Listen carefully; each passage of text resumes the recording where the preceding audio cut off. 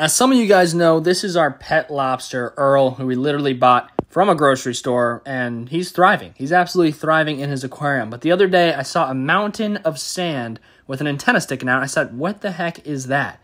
And it turns out he actually molted and buried the molt to you know try to keep it safe because they actually go back and eat it later. But I just wanted to show you guys what it looked like. It's literally crazy. That is his exoskeleton that he shed to, in order to grow. So they grow into a new shell, a new exoskeleton, and uh, look how much bigger he looks now. His claws are so much more orange. His color has come back a bit, and he is just a massive lobster who is thriving in the tank. He absolutely loves to eat, and uh, hopefully we can get this guy to like to 15 pounds because he is truly a beast and he looks just way better than before the molt. So I'm excited to see what his molt looks like the next time he does it.